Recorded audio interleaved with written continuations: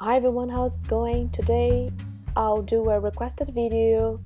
I'll show you guys my edition of Vile Bodies. This edition by Folio Society is one of the most beautiful, at least most beautiful covers and spines I own and I hope you guys enjoy. I've heard great things about this book. I haven't read it yet but I know uh, there's like a gossip girl vibe on this book and it's like a satirical commentary about bright young people that were like young and carefree London aristocrats and bohemians in the late 20s and early 40s.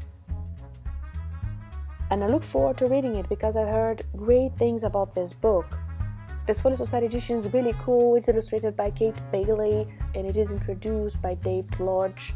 Um, other thing that I really enjoy about this book is the illustrations. They are really really interesting. My only complaint here that i wish i really wish they were printed in color. I think colorful illustrations would make this edition much more beautiful and much more like fancy you know?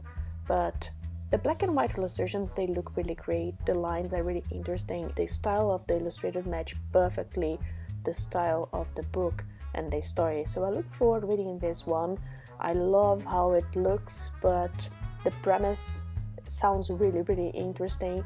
And I'll link some reviews of other channels, especially Words of a Reader, in case you want to know more details about the story and what can you expect of it.